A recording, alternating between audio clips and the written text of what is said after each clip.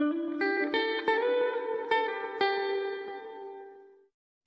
and welcome to Violet Connie Art. Today I have a really quick video for you. This is a art hack on how to make a regular pad of watercolor paper or any kind of paper into a block. The reason I want to do this is because I keep wanting to buy the blocks of uh, watercolor paper rather than the pads so that I don't have to tape it and I can paint right to the edges but the problem is is they're a lot more expensive than these so I've come up with a way to do it myself. So first of all you need a piece of paper um, the, si the same size as your watercolor pad, some glue sticks and a hot glue gun, mine's a bit manky but yep, and a silicon spatula.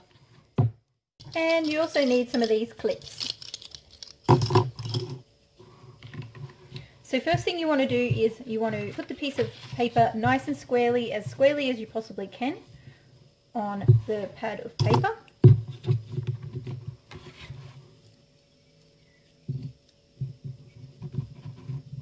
Make sure that the edges are all lined up nicely. And along the bottom.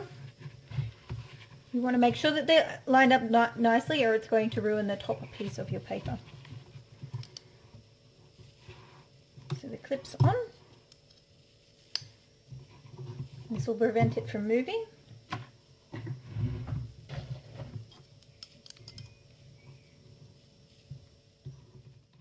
So once you have all your binder clips on and nicely even and overhanging each edge, you want to do it in small sections with the glue gun and then put a fine film along each section and then move the clips along. The reason we want to do it in small sections is because we don't want any glue to get in between each piece. So I'll show you an example here. So I'm holding the pages together, ensure not to get it on my fingers. Glue nice and hot And go right to the end. And so that section's done. Get a bit of an overhang, that's okay, fix that later on. So that's the first piece done.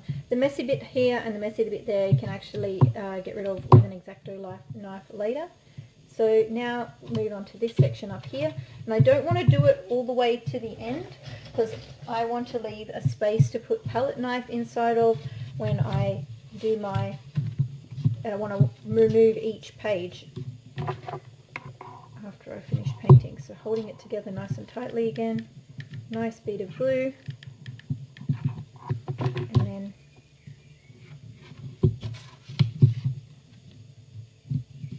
smooth it along. Mine's not exactly neat, but it does the job. Repeat this process on each of the sides.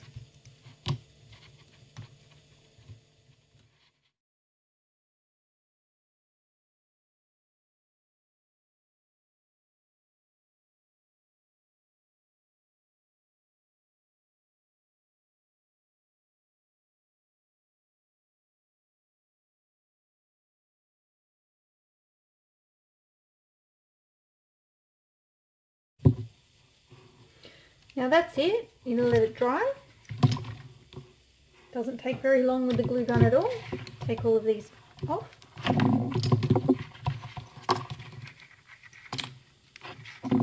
Now I've actually left a space at both the top ends for peeling away my pages. And the reason I use a silicone spatula is because the glue comes straight off there. No problems at all. Okay, the glue's all dry now, and so we can take off this first sheet. Now this is the reason we have this first sheet on here, um, to protect the first piece of paper.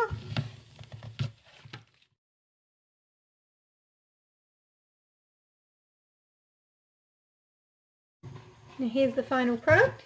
It's not exactly uh, neat, but as long as I can paint the edges, that's fine. And I can fill the page right up. Um, and then I can also remove it with my palette knife. Just by going up to this end here, popping it in, and sliding it along.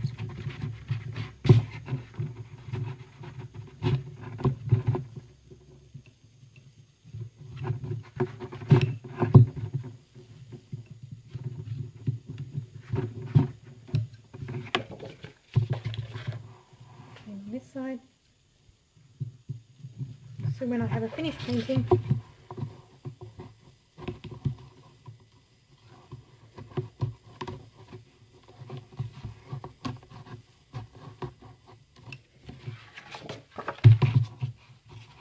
I'm able to remove that piece.